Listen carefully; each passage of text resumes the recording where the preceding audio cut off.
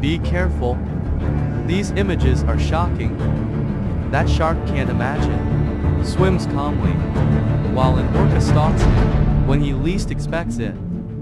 The orca kills him